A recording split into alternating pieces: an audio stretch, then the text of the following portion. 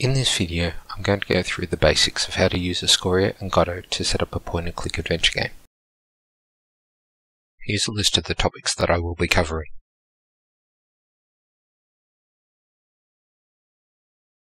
Escoria and its components are distributed as Godot plugins. Aside from the core engine, there are plugins for dialogue and different user interfaces. I'll be using the Simple Mouse, Simple Dialogue, and Escoria Wizard plugins for this video to hit the ground running but these can be modified or swapped out at any time to change the look and feel of your game. A few quick points about Escoria in case you haven't used it before. Firstly, Game Logic is written in a custom language called Escoria script.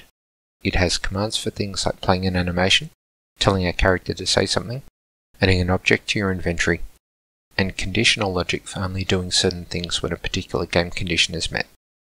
Escoria uses custom Godot node types for its nodes, the custom nodes define various things in the adventure game. The main node types are Escoria Rooms. Each scene in your game is implemented as an Escoria room. This node type will be the root node of every scene. I'll refer to game scenes as rooms in the video, so a room could be a bedroom, or a street, or the deck of a ship depending on your game. Escoria Background Nodes. This node type holds the background image for your scene. Escoria Terrain Nodes. Escoria terrains define settings around where in the room the characters can walk. Escoria locations. These are coordinates in your scene that you can make the characters and items in your game move to. Escoria items. An Escoria item is an object the player can interact with, like a room item or a non-player character. Your player character is a special type of Escoria item. While you can create any of these nodes in your scene manually as appropriate, I'll shortly show you how to use the Escoria wizard which takes the hard work out of setting up your game by creating and configuring these nodes for you. The last concept I want to quickly cover are global identifiers, which are also known as global IDs. Pretty much everything from items to terrains to locations can be given a global ID. The global ID is an identifier that is unique to the scene that identifies each item in the scene. This allows the developer to link game logic to the relevant item when making the game character move to a specific location for example, or picking up a certain object. The plan for this tutorial is to make a basic game to demonstrate the fundamentals of Escoria. The project files will be available, so feel free to follow along and use this project as the starting point for learning the engine. The premise of this game is that you're a robot working on Mars. You've just found out that you're needed urgently on Saturn, however you've lost the keys to your rocket. The game will feature two rooms. The first has your rocket and some rocks. The second has more rocks and an alien creature. By talking to the creature, you'll find out that it can make you a new key if you find it something to eat. The food it wants to eat are Martian bugs, which can be found around the rocks. Find some bugs, take them to the creature, use your key, open the rocket, and you win. Some of the things this tutorial will cover are installing the Escoria and creating the project, creating the rooms and joining them, creating the characters, creating objects, both those that can be added to your inventory and background objects, conversations, Escoria scripting game logic, and cutscenes. The first thing I need to do is download Escoria. Each plugin can be downloaded individually, but instead I'm going to use the demo game project on the dev branch, which has the latest code and bug fixes, as well as all the standard plugins included. The standard plugins are fine to get your game up and running, and can be customized using Godot's GD script if you want additional functionality to suit your specific game. Generally you download Escoria from the Godot Asset Store, However, as Escoria is undergoing a lot of development right now, the asset store doesn't have the latest version. Instead, I'm going to download it from github.com forward slash Escoria. I could use Git to clone the repository, but for this demo, I'm going to download the zip version and unzip it somewhere appropriate on my hard drive. To start creating my game, I'm going to run Godot and create a new project. I'll call my game Tutorial.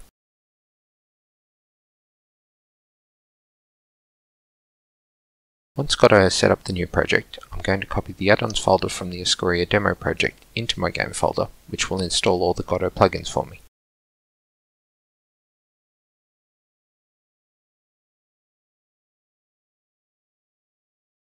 Plugins aren't available until they're enabled, but I'll do that in a minute. When I switch back to Godot, you'll see it imports all the assets from all the files that have just been copied in. The plugins in the add-on folder are now part of the project, but they won't be active until they're enabled, the first plugin that needs to be enabled is the Escoria Core, which is done by going into the Projects menu, Project Settings, Plugins tab, and selecting the Core plugin. As the Escoria Core plugin gets enabled, some errors will appear in the output window. This is expected the first time the plugin is enabled due to how Escoria interfaces to Godot. Restart the project to clear the errors. Selecting Reload Current Project from the Projects menu restarts the project, which is a bit quicker than stopping and starting Godot altogether. Now that Escoria is running as part of the engine, I can enable the other plugins that I need for the game.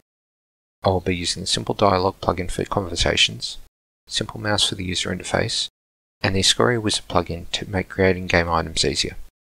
As before, go into the Projects menu, Project Settings, Plugins tab, and select the plugins that you want to enable. With the Wizard plugin enabled, you'll notice that the Wizard button pops up at the top of the screen. I'll be using this later. I'll create some directories for organising my game. While I could throw all the game graphics, sound, and logic scripts into a single folder, it's a lot better idea to separate everything from the start to keep things logically organised as the project grows. You can use whatever folder structure suits your game. With the exception of the add-ons folder, there's no mandatory folder hierarchy. I'm going to create top-level folders for inventory, characters, and room data.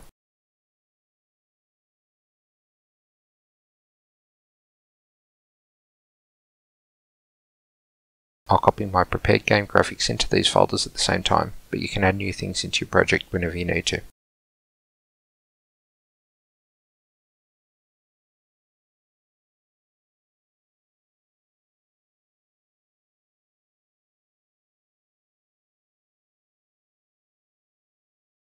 In the project settings, there's a few settings you might want to change. On the General tab under Window, I'll set the game resolution. For my project, I'm using 1920 by 1080. At the bottom of the general settings are all the Escoria settings. In main, I'll need to define a game start script to tell the game what to do when it started.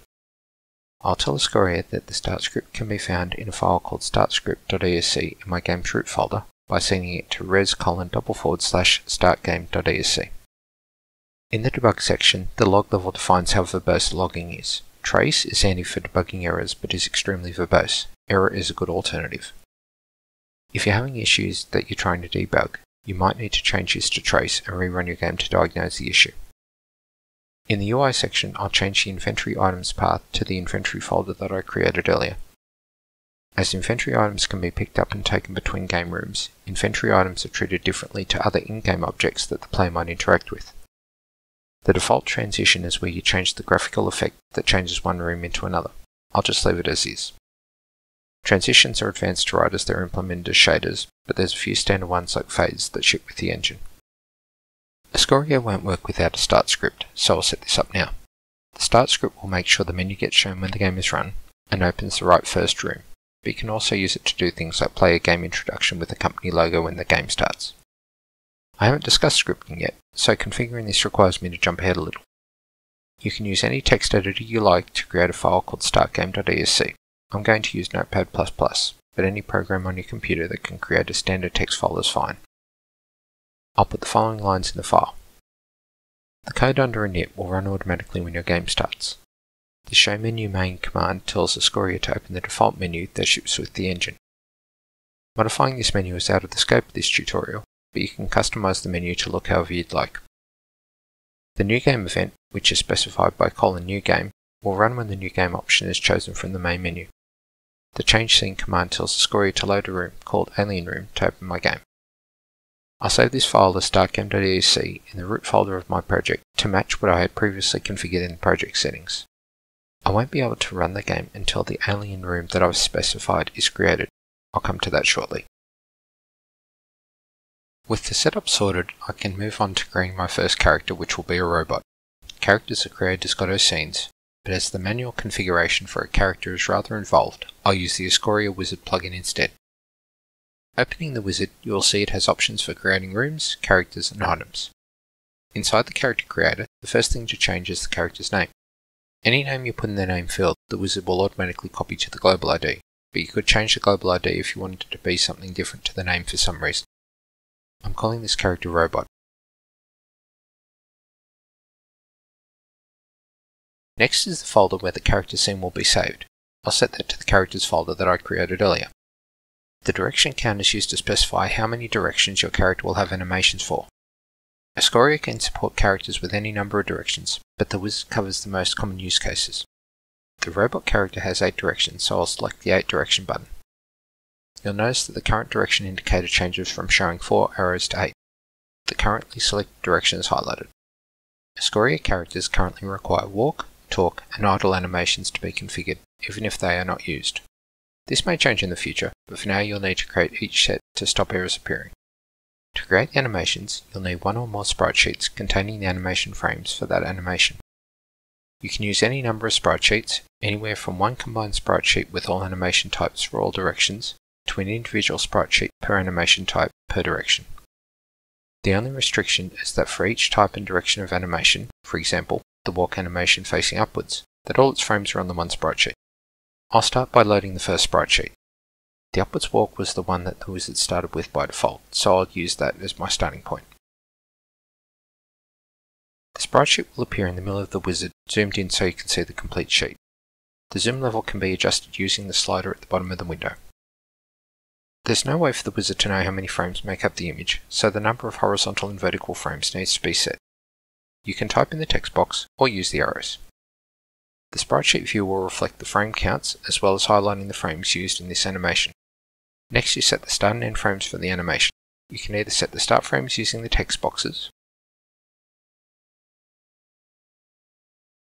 or you can left click on the sprite sheet to set the initial frame, then right click to set the final frame. Once you've selected the frames you want to use, the preview window will start playing the animation. The default speed of 5 frames per minute is too low for this animation, so I'm going to change it to 25.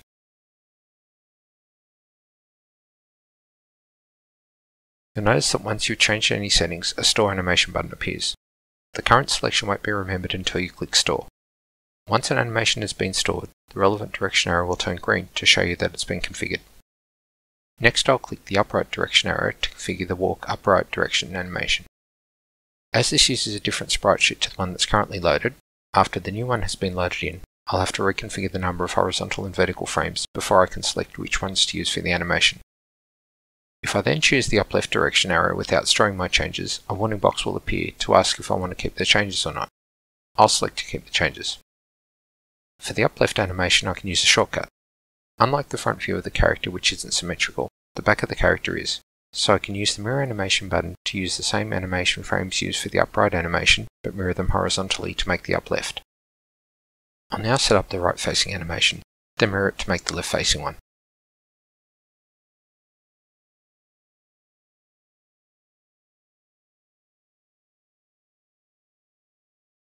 Clicking the commit button each time I make a change can get tedious. I'll select the Auto Store Animations button so any change gets stored automatically. Next, I set up the walking downwards animation, followed by down and right, then the down and left. As pointed out earlier, as the robot has a number on its torso that would look wrong if the animation was mirrored, different sprite sheets are used for the down and right and down and left animations rather than mirroring one to make the other. Now that all the walk animations have been configured, I'll move on to the talk and then the idle animations. The process for configuring these is the same as for the walk animations, so I'll speed up the video.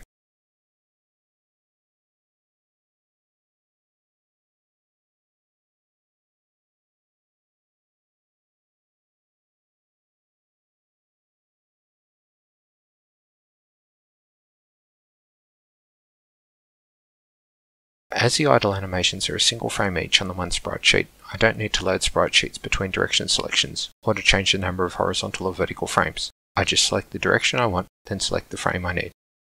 Once all the animations are configured, I use the Export Character to Godot Scene button to export the character. Once it has been exported, the new player scene will be open.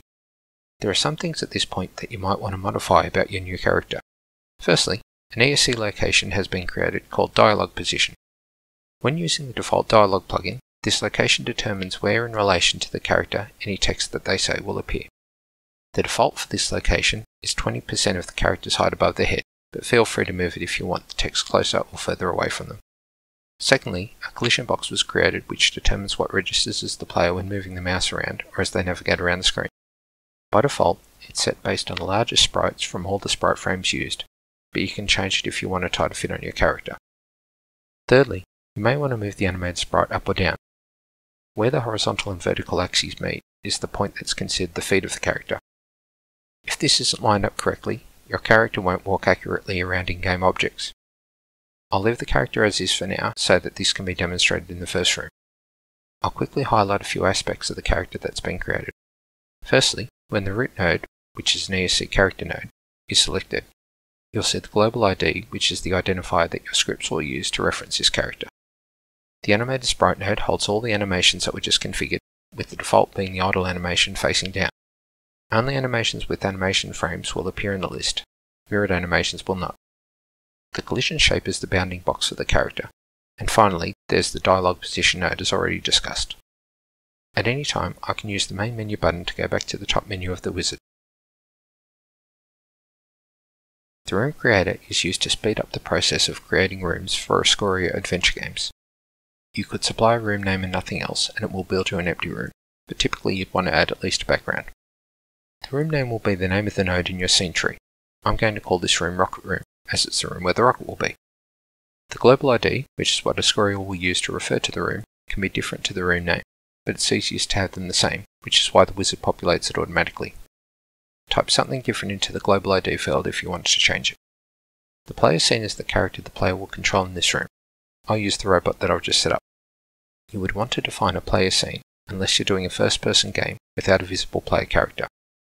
Enabling the room script will set up a placeholder script for the room using a template file.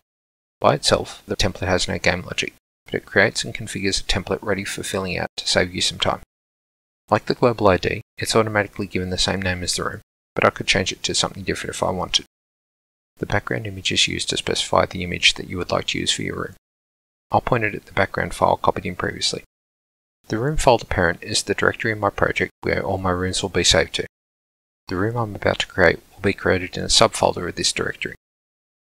Click Create when everything's ready to go. Looking in my folder structure, I can see it's created a folder for my room with folders for objects and scripts. If you don't want to use the objects folder, just remove it and put your room graphics somewhere else. There's also a scripts folder for the game logic. It looks empty because the Escoria scripts use a .esc naming convention and the Godot file browser only shows files that Godot natively recognizes. If I open the script browser and search for all files, I can see and open the room script that the wizard has created for me. Like the objects folder, if you don't want to use the scripts folder, you can remove it. Just be aware that the room has been configured to use the template file that the wizard has placed in there, so you'll have to reconfigure the room script setting of the ESC room node to point at the location of any alternative script. Room scripts contain some special setup and ready events in the file, which I'll explain when I configure some game logic for the room. Opening the actual scene that's been created, the parent is an ESC room node, with the room script and player scene already configured based on the settings that I chose in the wizard. The ESC background node contains a background image. The ESC terrain node, called walkable area, already has a navigation polygon created, which will be used by my character to navigate around the room. The polygon needs to be drawn for the navigation to work, which I'll do in a minute. You can have multiple terrains in your room and swap between them as necessary, changing where the player can walk at any particular time. An example of when you'd use this is when there's a locked door blocking access to half the room. The initial terrain would only allow the player to walk up to the door, but not through it. Then a second terrain would be activated when the door was open and include both sides of the door. Continuing on, the room objects node is there to act as a folder for any objects in the room that the player will interact with. Any objects I create will be children of this node. Lastly, there's an ESC location node called StartPos. This will define where in the room the player will start unless the game logic tells Escoria to start them from somewhere else. If I had doorways on the left and right hand side of the room for example, I need a location for each door, so I could tell Escoria to start the player at one of the particular doorways, depending on which door they were supposed to enter through. The wizard will create the start position in the middle of the room, and I'll move it later. The default start location for the player can be called anything you like, it just needs to be an ESC location node and have its isStartLocation parameter checked. Escoria uses the navigation polygon to work out where the player can walk to. Anywhere inside the polygon can be reached by the player, anywhere outside is inaccessible. The first thing I'm going to do is create the navigation polygon. Selecting the navigation polygon instance node, the toolbar at the top of the screen changes to add some buttons for interacting with the polygon's vertices. Clicking the button with a plus allows me to place a vertex every time I click. For now, I'll make the polygon the size of the ground of the background image. Click the first point that you created to finish the polygon. If I click the Play Scene button now, my character is placed at the starting location. With the simple mouse interface, clicking the right mouse button changes the action type, and the left button actions it. With the action set to walk, which is the foot icon, if I click around the room, my player will walk to where I click. You'll notice that the feet don't end up exactly where I click the mouse. To fix this, I'll close the window to stop the game, then open the player scene. As discussed earlier, to move correctly around the room, the character's feet have to line up with where the horizontal and vertical axes meet. I'm going to click the first child node of the ESC player, then use shift click to select the last. With all the child nodes selected, I can now click the move node button, then move the character so that its feet line up with where the horizontal and vertical axes meet. I'll save the player scene, open the room again, play the scene, and now the robot walks correctly to the location I clicked. If I click in the sky, the robot will only walk as far as the navigation polygon allows it to go. You'll notice that the robot looks a bit strange as it doesn't shrink as it moves away into the distance. Let's fix that. Just before I do, I'll demonstrate that if I try to play the game using the standard play button, I can show the menu, but hitting the new game button results in an error. This will be rectified once I've covered scripting, and I'll continue to use the play scene button instead in the meantime. For now I just want to show the interface is showing me the error in the debugger. You can get to the debugger window by pressing the debugger button at the bottom of the screen. I can change the output window to see a more user-friendly version of the error, which tells me that the reason the game won't start is that the alien room can't be found. This makes sense because the room doesn't exist yet. The reason it's looking for the alien room is because that's what I told it when I configured the game settings right at the start of this tutorial. If at any time you're looking at a code window and you can't see your game, click the 2D button to return to the 2D view where you'll see your current scene. You'll also notice that there's a stop and a pause button showing in the corner. That's because the game is still running in the background but hung in an error state. Hit the stop button to stop the running game. Escoria can dynamically change the game character's height based on where they are in the scene. Looking at the ESC terrain node in the room, there are parameters that set the minimum and maximum scaling amounts for the room. To scale the characters in a room, Escoria uses a grayscale image the same size as your background. The colour where your character is determines what its height will be. The closer the colour is to black on the image, the more Escoria will scale items towards the minimum scale. Similarly, the closer the colour is to white, the more Escoria will scale towards the maximum scale. I've set up an image that fades from black to white, with the black being on the horizon and white at the bottom of the screen. To set the scaling for the room, drag the scaling image onto the scales property and set the scales min and maximum properties accordingly. I'm now going to play the scene again, and you'll notice that the character will resize smoothly as I travel around the scene. In this room, I think the character is too small at the smallest point and not big enough at the bottom of the screen. By setting the scale minimum value to 0.8, on the horizon they'll be 80% of their regular height. Setting the scale max to 1.5 makes the character 150% of their regular height when they're closest to the player. The player's speed also changes based on how small they are on the screen, so I could change the speed multiplier if I felt they were walking too quickly or too slowly. I'm happy with the walking speed, so I won't change this value. If I play the scene again, I can verify that the heights are now what I want them to be. My scene is currently looking a bit bland as there's nothing to interact with. I could drag sprites onto my scene background, like a moon into the sky for example, just to add some interest, but Escoria won't be able to interact with anything I drag onto the scene, and it will be like they're a part of the background. To be able to interact with an object, at minimum, it needs to be an ESC item node with an associated collision polygon, so that Godot knows when your mouse is over it. To create a scene object, click the Escoria wizard button, go back to the main menu, then select the item creator. The item creator can create two types of items, background objects and inventory objects. Inventory items can be picked up by the character and are stored in a different folder in your project, but otherwise, both background and inventory objects are pretty much the same. The first thing I'll create is the rocket for my scene. I can't collect it, so I'll make sure the background object type is selected. There's an important note in the text that unlike the character and room creators which create separate scenes for the things that you create, an object is a collection of nodes and will be created under whichever scene tree node is currently selected in your scene. Looking at the scene tree, the walkable area is currently selected, so if I create my rocket now, it will end up underneath the navigation polygon.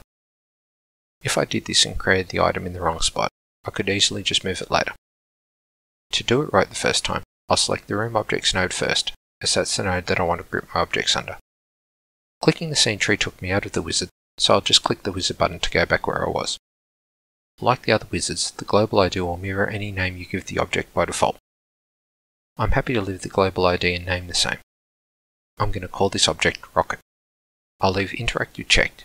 If I turned it off, the mouse would ignore the object until such time as the script made it interactive. Clicking the default action drop-down, you can see the list of standard actions that the default interfaces provide. The selection here tells Escoria which action you want to be the default when you right-click the object. Look is fine for this one. I use the Change Image button and find the picture of the rocket. The preview window changes to show you what the object will look like, scaled to fit the window.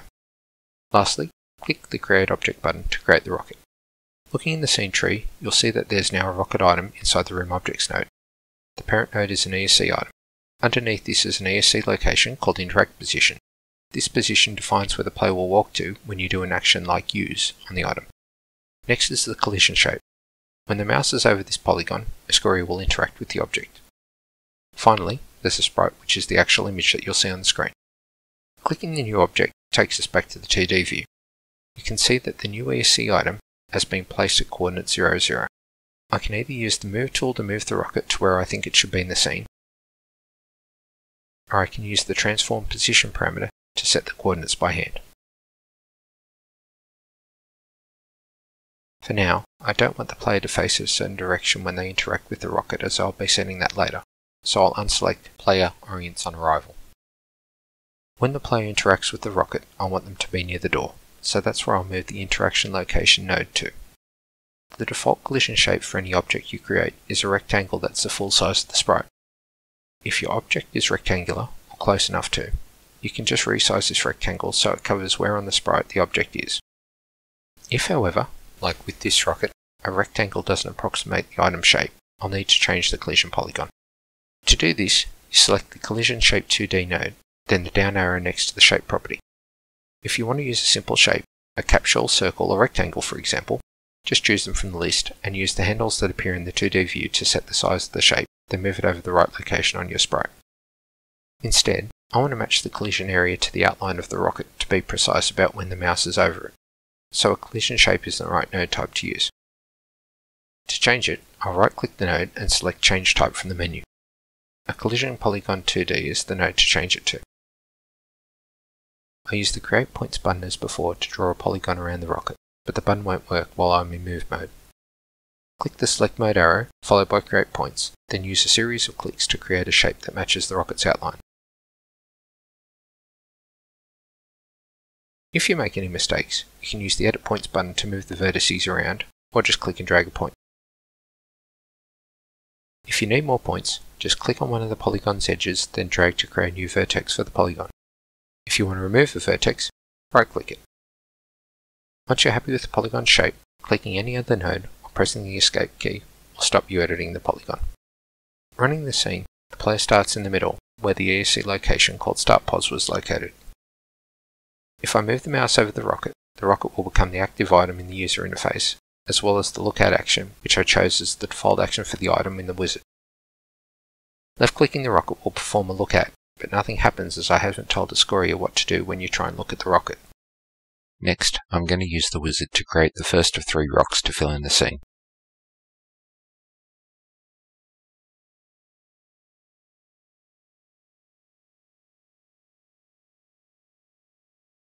I want the player to interact with the rocks from the side and face them during the interaction.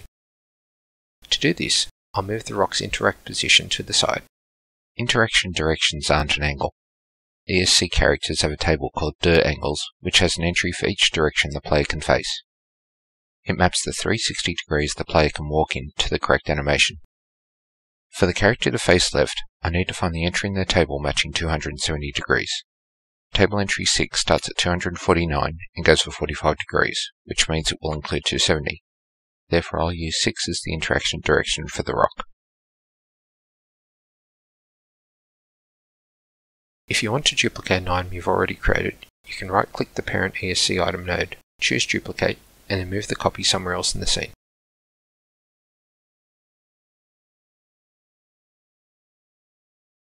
Both objects can share everything including their behavior script, but every Escoria specific node in the scene must have its own unique global ID. If you forget to change the global ID when copying room items, when you play the scene, it will error and tell you that there is an object with that global ID already registered.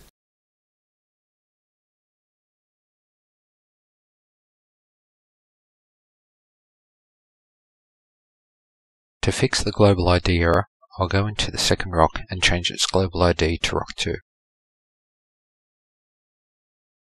Next I'll fix rock 3's global ID.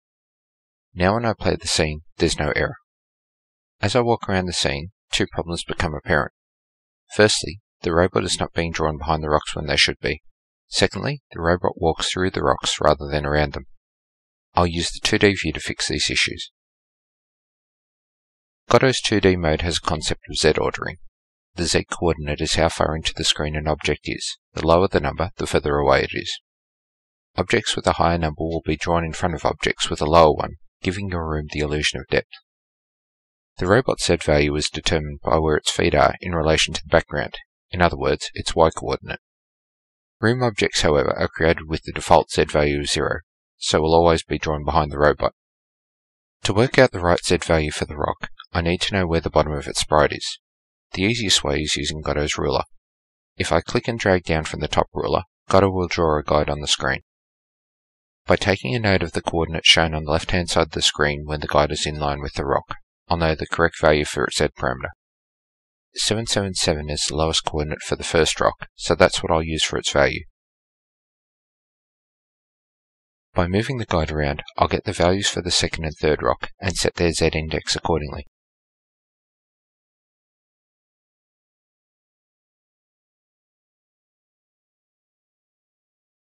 Testing the scene, the robot now walks behind the rocks, but unfortunately can still walk through them. The terrain polygon determines where the player can walk. By creating holes in the polygon, parts of the room are made unreachable, forcing the player to walk around them. To create holes, I select the navigation polygon, select Create Points, then draw around anything the character shouldn't be able to walk through.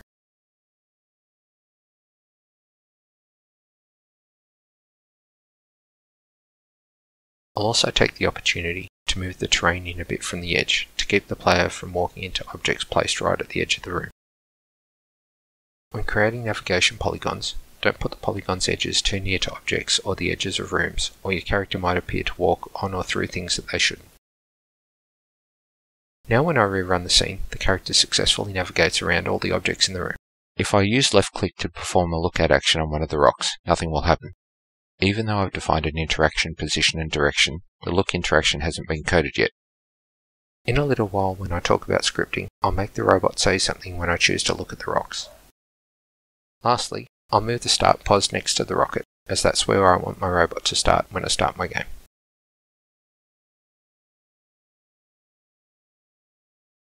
I'll speed up the creation of the second room, as it uses all the same techniques as the first.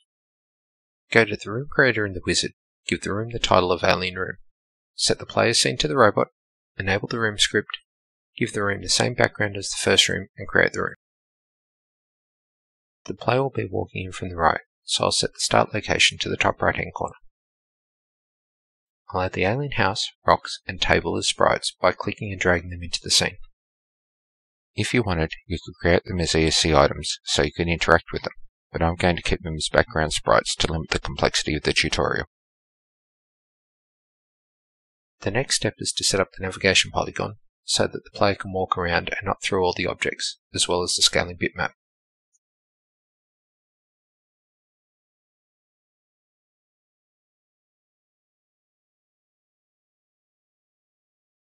Now that there's two scenes, there needs to be a way to travel between them. There's a few ways to do this. For simple exits that just swap the player from one scene to the next, there's a node type called ESC exit. You give it a collision shape, tell it which room you want the exit to connect to, and when the player stops walking on that collision shape, they'll be sent to the appropriate scene. For more complex game logic, for example, if you need to configure that a door is unlocked before letting the player use it and tell them it's locked otherwise, you'll need to use scripts. I'm going to set up ESC exit nodes at this point as they're the easiest. To create an ESC exit, I right click the room objects node click Add Child Node, then type ESC Exit in the search box. Double-click ESC Exit to create it.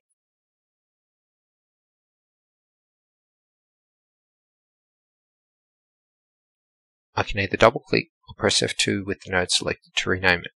I'll rename the node to Rocket Room for clarity and give it a global ID of Rocket Exit just to show that the global ID doesn't have to be the same as the name. I'll use the folder icon next to the target scene parameter to configure the room that this exit will send the player to.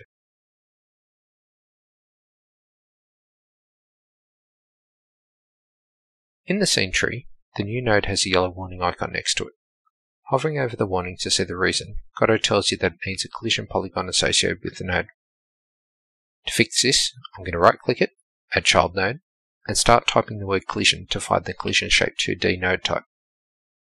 I could also use a collision polygon for complex shapes, but I only need a standard rectangle for this one. The collision shape 2D node now has a warning icon. Hovering over it tells me that it needs to know which shape type I want to use.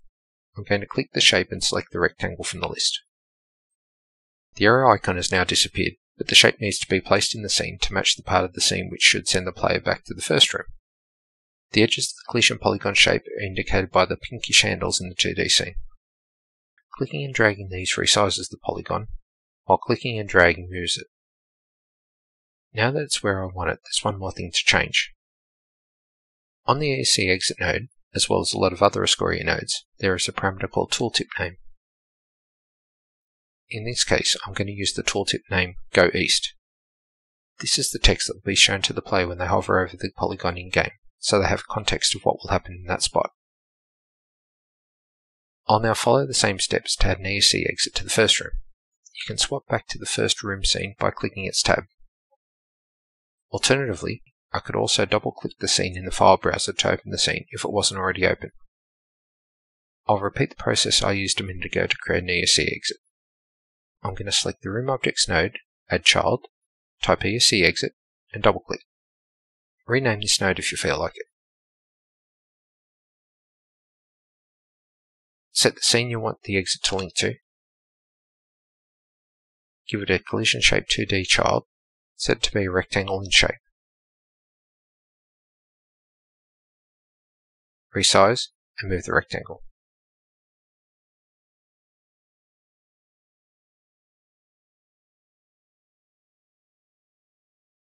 And give the tooltip the name Go West. I'll now play the game from one of my two scenes.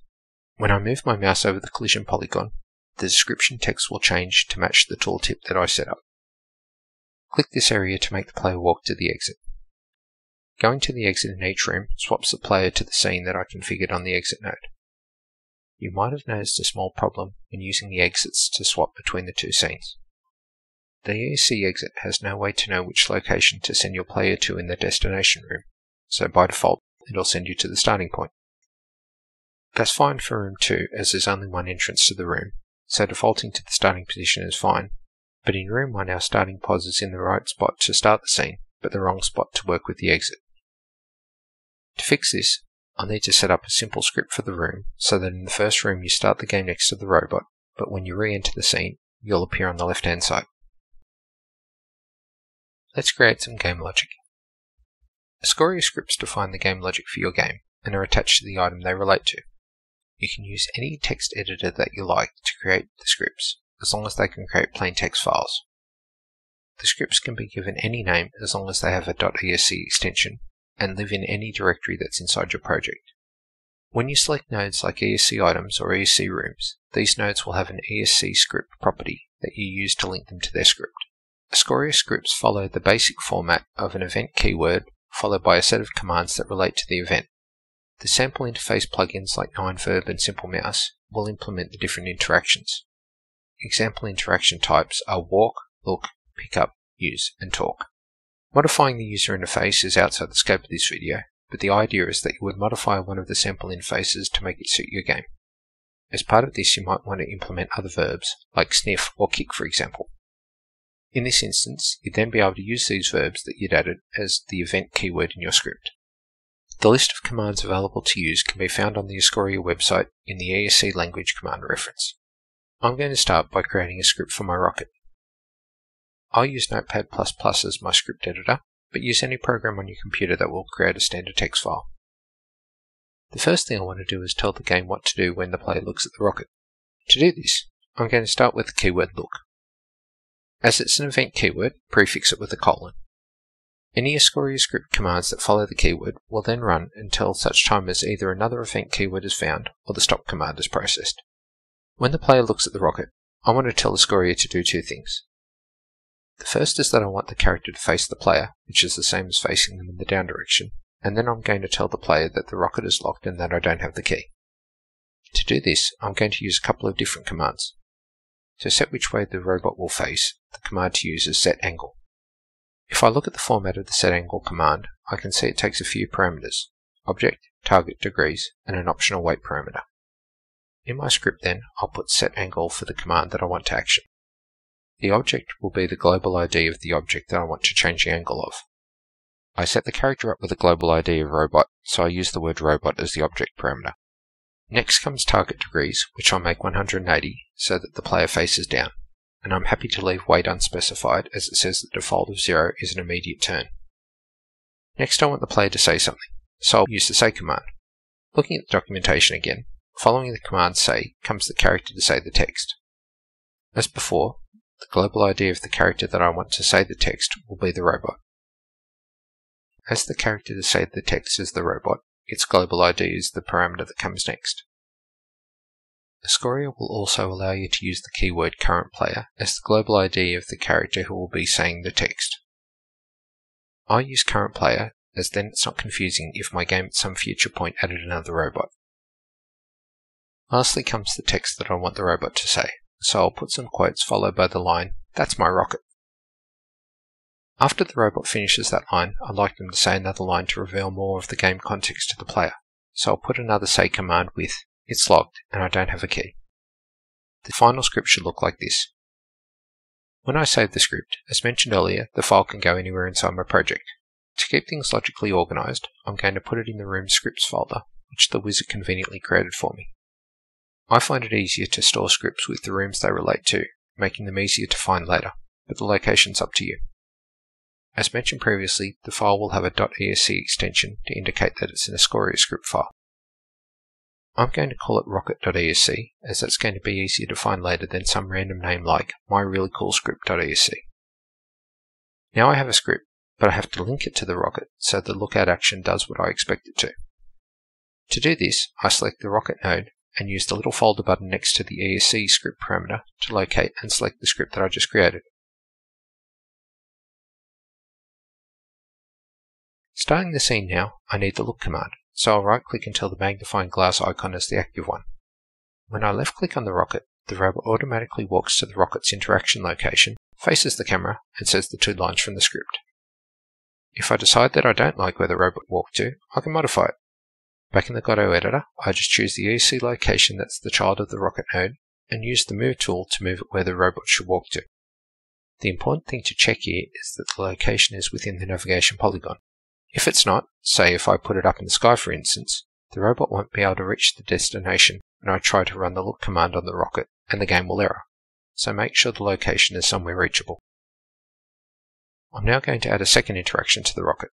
Reopening its script, I'll put the pickup event keyword, prefixing it with a colon to tell Escoria that it's an event.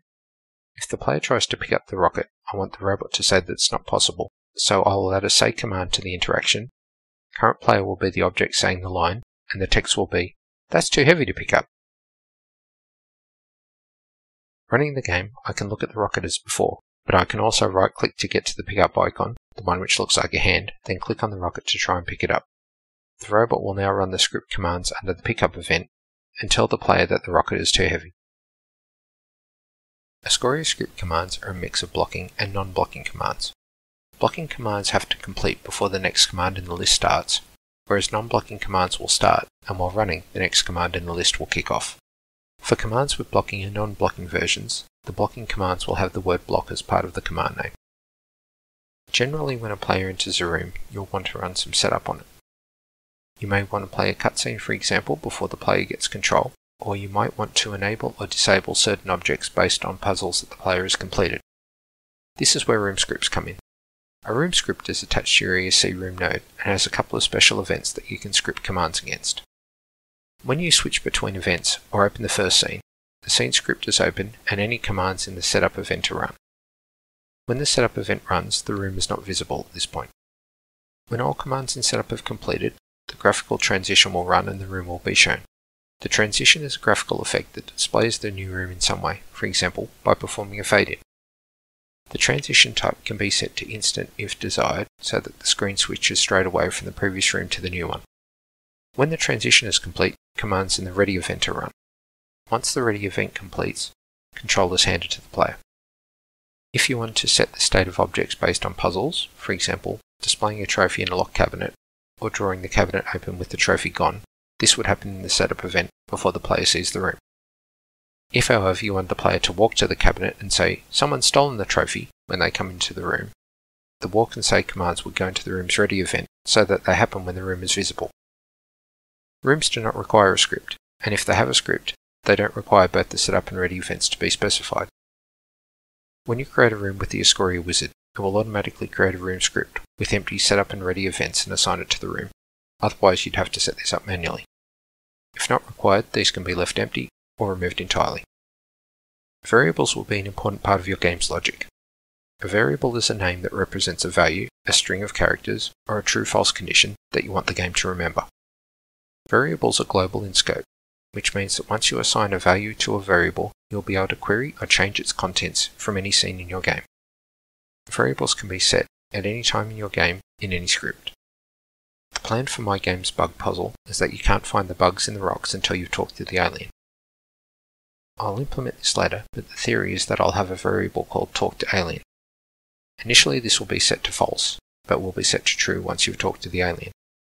If the player looks at a rock and the talk to alien variable is currently false, no bug will be found. If, however, they look at the rock and the talk to alien variable is set to true, it will be possible to find the bugs. Creating a variable is as simple as using the setGlobals command and passing in a name for the variable and a value.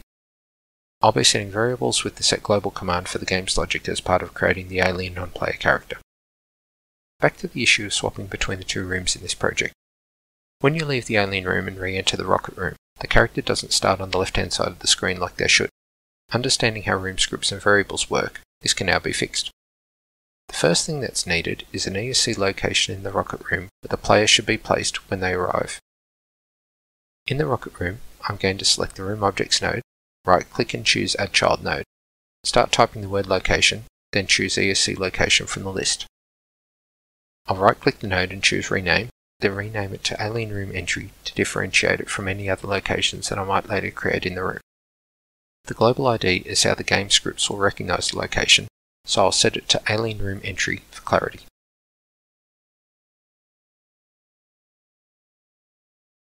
I'll use the Move tool to move the location to where I want the player to be positioned when coming into the room. Opening the room script assigned to the rocket room, I'm going to edit the setup event and add the following lines. I'm going to step through this to discuss what the commands are doing. The greater than sign tells Escoria that we're going to run some checks of the things in the square brackets, and if they're true, we'll run the following code. In this case, the EQ command says that we're going to see if the two following things are equal. ESC last scene is a special variable which holds the name of the last scene that the player was in. The first time you enter the scene, the logic will execute and check the last scene you're in. As the last scene was an alien room, the indented commands will get skipped and the player will be placed by default in the room starting location. Later, when you come into the room from the alien room, however, ESC last scene will now equal alien room, which means the check between the square brackets is true, and the following commands will therefore run. In that instance, the teleport command places the player on the location of the node with the global ID alien room entry. If there were any other commands that were non-indented after the teleport command, these would get run regardless of whether the last scene was alien room or not. If you didn't want this to happen, you need to place a stop indented after the teleport command, which would stop any other commands in the script from being evaluated. Running the game from Alien Room and walking to the Rocket Room, the player is now placed in a position that makes sense. In your game, it takes a lot of time to set up unique actions for every item. The default actions file allows you to set up some defaults that Escoria will use unless you specify otherwise. For example, you could set it up so that when you try and use any item, the player will default to saying, I can't use that. To do this, I'll first have to create a file to act as the defaults file. The defaults file will have each action you want to default for, preceded by a colon. After each action are the commands you want to run by default for that action. Typically the character saying something like, I can't use that, I can't pick that up, I can't walk there, etc. I could add default actions for other things the player might do, like look or pick up if I liked, by adding them to this file.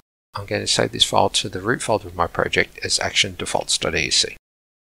To configure Escoria to perform these actions as the default, I need to go back into the Escoria configuration in Godot's project settings. In the Escoria main section, there's a setting called action default script.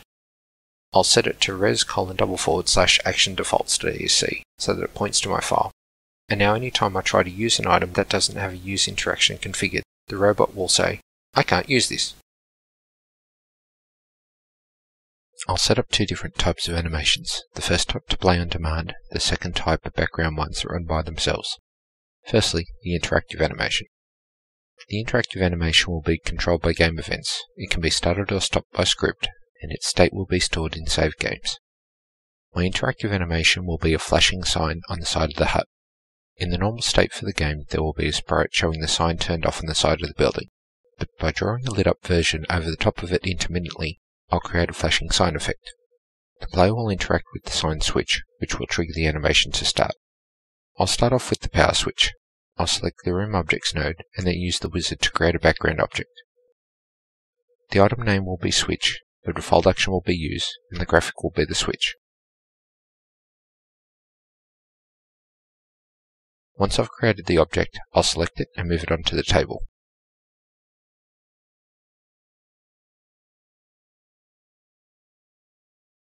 the interact position I'll move next to it. Now that the switch is created, two animations are required. The first one is the on animation for when the sign is turned on. This animation will have looping turned on so that it restarts as soon as it completes. The second is the off animation, which will change the picture to a static, unlit graphic and stop.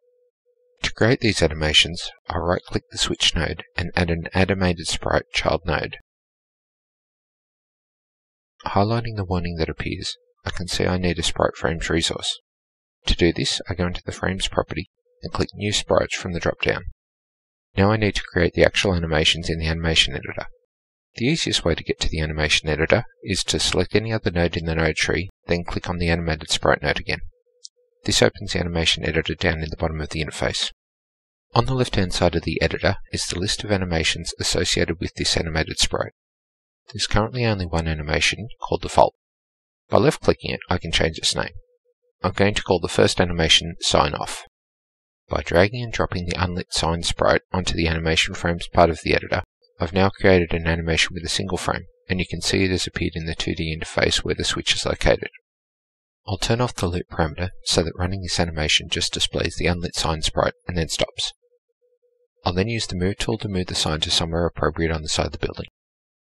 Now that that's done, I need an animation for when the sign is lit. I could make a single lit frame, like the turned off animation, but I'll make it flash so it's a bit more interesting. I'll start by clicking the plus icon to add a second animation. Clicking the second animation, I can rename it to sign on. I'll drag the lit sprite frame, followed by the unlit sprite frame into the interface. When the animation executes, each frame will be shown in order at the speed shown in the FPS box. As the looping button is enabled, the animation will continue to play indefinitely once it has been started. From the FPS box, the animation is currently set to run at 5 frames per second, which means that as I have 2 frames in my animation, the sign will flash 2.5 times a second. It's hard to know if this is a good speed or not without seeing it, so in the animated sprites properties, I'll select the animation as the sign on animation, then click the playing button to activate it. I'll change the FPS setting to 3 as I think it's flashing a bit fast. The animation that's chosen in the animation property will be the default one that will start when the game starts, and I don't want the sign to start running, so I'll change the animation back to the sign off animation and turn off the playing button. The last thing I need to do is link the animation to the button, and to do this I'll need a script. I'll put the following into a text file. I'll now save my script as sign.esc in the scripts folder. Stepping through the script, this script says, if the switch on variable is false, then I want to use the setState command to play the sign-on animation for the switch ESC item. After this, I want to set the switches on variable to true to indicate the player has turned the sign on. I then want to stop the script, or else the next few lines will immediately turn the sign back off again, as their check that the switches on variable is true will now evaluate to true and execute. To do this, I use the stop command. A couple of things I'll quickly point out about the script. The first is a reminder that all variables will evaluate to false until you set them otherwise. This lets me check the status of the switches on variable before a command has ever run to set its value. The second thing I'll point out is that by using the set state command to run the animation instead of the anim or block anim commands, the state of the switch will be restored when you load and save the game. I could also run animations that used a Godot animation player rather than animated sprite if I wanted to. While animation players are really powerful in Godot, they're also more complex to explain, so I've used the easier animated sprite instead. Now the first animation's done, I'll move on to the non-interactive animation. The non-interactive animation will use a normal Godot animated sprite to add some twinkling stars in the background that won't react to anything in the game, or any input from the player. No Escoria or objects are created for this, just placing an animated sprite node in the scene results in Godot running it automatically when the scene is opened. To create the twinkling stars, I right-click Room Objects and add an animated sprite node. I'll right-click the node and use Rename to rename the sprite to Stars. Selecting the Frames property, I select New Sprite Frames. I'll enable playing so that I can see my animation as I create it. If I then click the sprite frames, the animation editor will open automatically. I'll click and drag the individual sprite frames onto the animation editor to create the animation. Now all I need to do is use the Move tool and move the animation to where I want in the background, and the animation is done.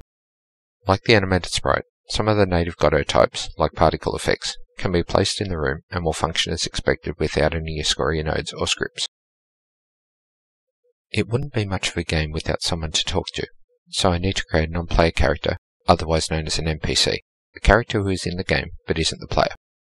Normally, an NPC would have the ability to walk around your scenes if the story required it, but in this game the alien will stay behind their table and won't do anything much. They will have idle and talk animations, but only facing in the one direction. The wizard will let me create a One Direction character, so I'll use that. Opening the wizard, I'll go to the character creator, use alien as both the name and global ID, and select the One Direction character. For the downwards talk and idle animations, I'll use the sprite sheets that I copied in at the start of the video. The NPC won't walk anywhere, so I'll just use a single animation frame for the walk animation. It could be anything at all, as it will never get used. Once I've created the alien, I need to import them into the alien room. To do that, I'm going to find the character scene that was just created in the file tree and drag it into the scene. I'll open its scene and move the interact position to the right so that the player talks to the alien from that side. Save the scene to store the changes. In order to have a conversation, the alien needs a script to tell the game what to do when you interact with it. I'll create a new script in my text editor and paste in the contents that I've already prepared. There's a lot in this script, so I'll step through it a section at a time. It starts with the talk verb, so everything under it will run when the player talks to the alien.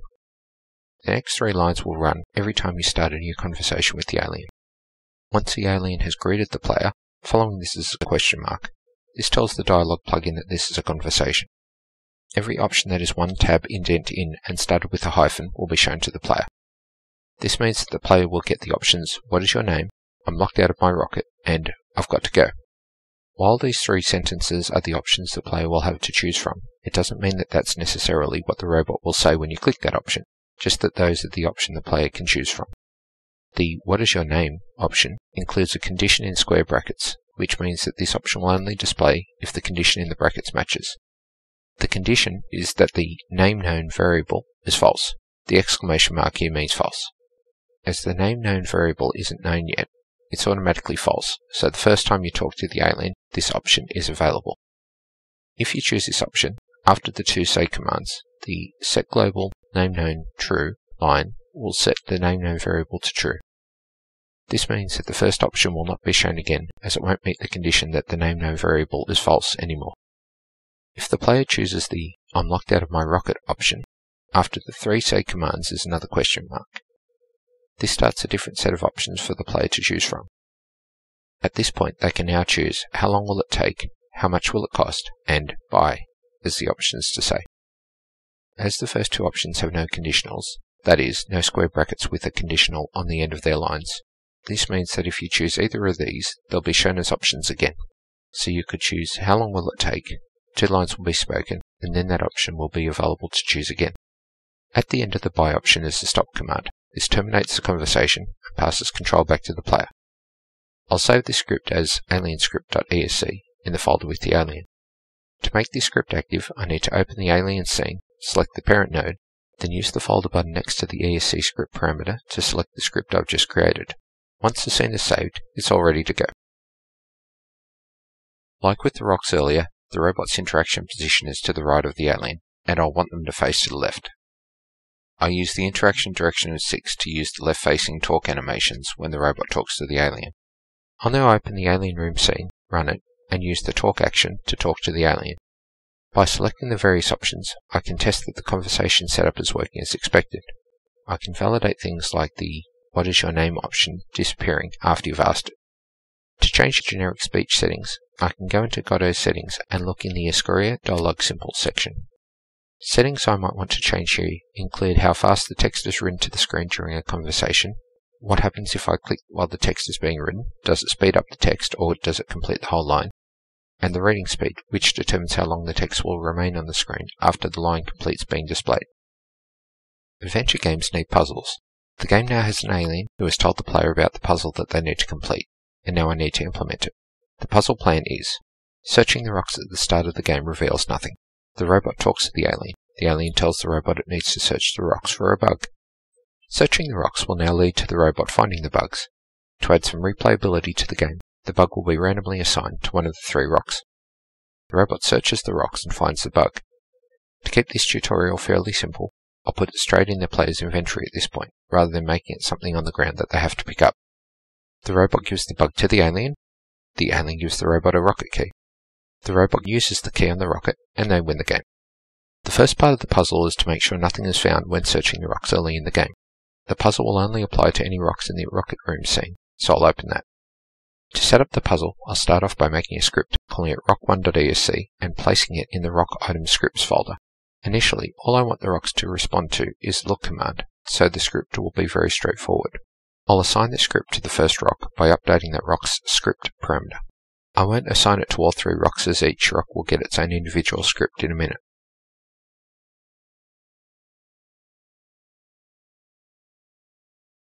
That ticks off item 1, and as the robot is already told to go find a bug during the conversation that I set up earlier, I can also tick off item 2.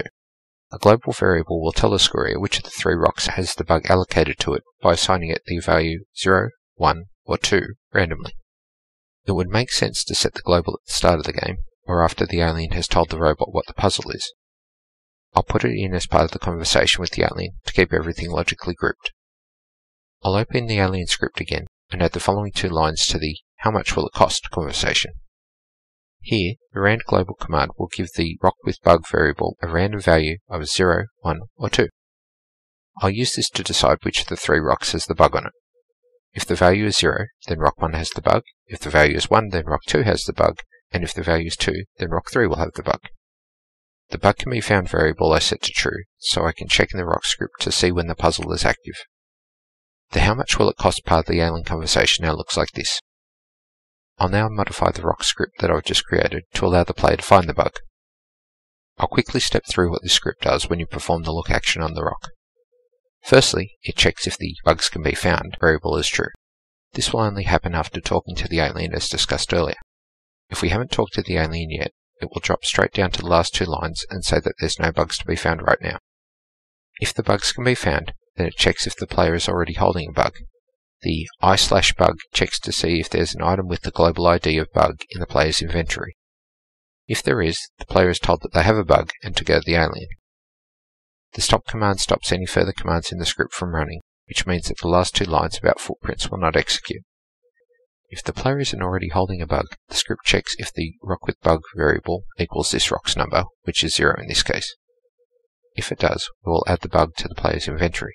If not, the player will be told that there is no bug here and the script will stop. I'll save these changes, but this script will only work for the first rock, which is number 0. To make it work for the other two rocks, I'll need to create copies of the script called rock2.esc and rock3.esc and modify the rock with bug equals 0 line to check for a value of 1 or 2 respectively.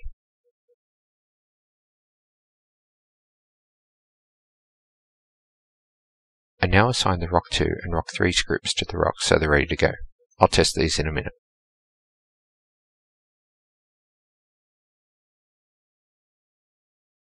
Debugging is the process of finding and fixing any errors in your game that cause it to work in a way that wasn't expected. One of the easiest ways to do this is with the print statement. If you aren't sure if a particular script is getting executed, putting something like print now running the alien talk script in the script lets you validate that the game logic is correct and that the game has processed that part of the script. One of the most handy features of the print statement is the ability to print the contents of global variables so you can quickly see the state of variables in the game and make sure they're set as expected for the logic to execute. In my game, to make sure things are working as expected, I'll add a command after the rock with the bug is chosen to show the developer which rock has the bug. If I then search that rock and don't find the bug, I know that there's an issue with my conditional statements that I need to investigate. I'll now run the alien room and talk to the alien. After I tell them I'm locked out of my rocket and ask them how much will it cost, the bug will get assigned to a rock. If I use Alt-Tab to switch to the Godot editor while the game is running and look at the Debugger tab, I can see that the bug was assigned to rock 0, 1 or 2. Unfortunately, if I go and check that rock, the game will error as the rock script assigns the bug to the player and we haven't created the inventory item yet. I'll fix that now. An inventory item is an item that the player can pick up and take with them. Inventory items are just like normal objects in that they are an ESC item, but all inventory objects in your game must live in a single folder. I configured this folder at the start of the tutorial, but as a reminder, the setting can be found in Godot's settings under Escoria UI Inventory Items path. I'm going to use the wizard again to speed up the creation process.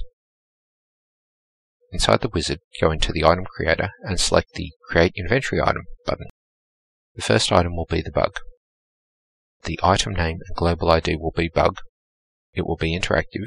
The default action can stay as look, and I use the Change Image button to choose the bug picture. Lastly, I click the Create Inventory button to create the object. I also need to create a rocket key. Change the name global ID to key, choose the key image, and click Create Inventory.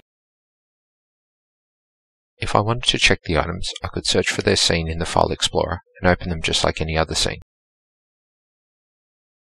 For the item to be usable from the inventory so that the player can give it to the alien, the combine when selected action is in parameter has to include use. This means that the player will use the object to give it to the alien as opposed to looking at the object or closing the object, for example. Setting the parameter to include use will be done automatically if the wizard is used to create the inventory item. For both items that I've created, I'll check the Use from Inventory Only checkbox, which tells Escoria that you can't use this item without picking it up. In this game, you get given the items directly, so it doesn't make any difference, but it's good practice to set it up now in case I decide to change how the game works later and make them items in the scene that you can interact with before picking them up.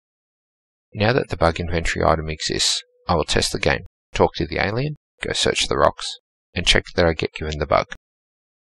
So this video doesn't drag on much longer, I'll speed it up until I get the bug in my inventory.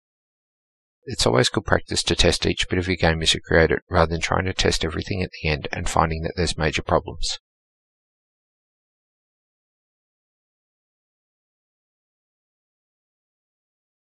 Now that's working, I'll add the logic to the alien to accept the bug and swap it for a key. To demonstrate cutscenes, I'm going to make a basic one when the player gives the bug to the alien. A cutscene is when some of the story is shown to the player. Like watching a movie, the player can't interact with the cutscene. A cutscene is easy to implement. You disable the player interaction, then use commands to play animations, dialogues, sounds, or whatever you need to tell that bit of the story, and then give control back to the player once the cutscene is finished. I'm going to add a few lines to the bottom of the alien script to run a simple cutscene. These should be fairly self-explanatory, but I'll run through them quickly. When you use the give command to give the bug to the alien, the game will turn off the user interface displayed on the screen, and then block all user input except for the ability to skip through any conversations. The bug is removed from the inventory, the alien says its line, it gives the player the key, then the robot is made to walk to the start position node, that is, the one with the global ID of rocket exit. I'll set the game complete variable to true, which I'll use to trigger a cutscene in the rocket room when the character leaves this one, as cutscenes can't cross rooms and I'll re-enable the GUI. I then change to the rocket room to show the final scene.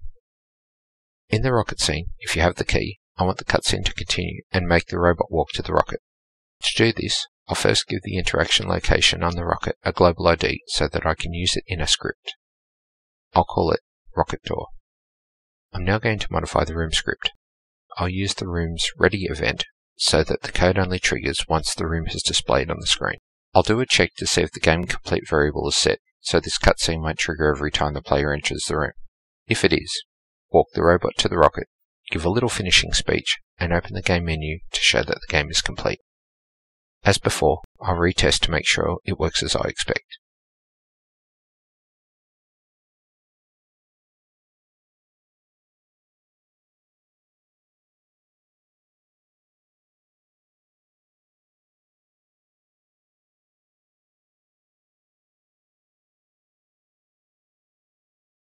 To finish the game, an introductory sequence is required to start the story and give the player context about the game world and what they have to do. I'm only going to put a very basic introduction in to round out the game, but you'd want a more exciting introduction in a real game. I'm going to create a new room to act as the opening introduction. I've prepared some introductory text as a sprite which I'll use as the room's background. By making the whole screen an ESC exit in this first room, the player will see the text screen first and be able to click anywhere on it to start playing the game. In the wizard, I'll use the room creator, giving the room the name intro room. I won't use a play scene or a room script, and for the background image I'll use my pre-created intro sprite. When I look at the room, I don't need the walkable area as there's no character to walk around the room, so I'll right click that and use delete to get rid of it. Under room objects, I'll create a new ESC exit node and give it the global ID to first room. I'll set the target scene to the rocket room and create a rectangular collision shape that covers the whole room as a child node.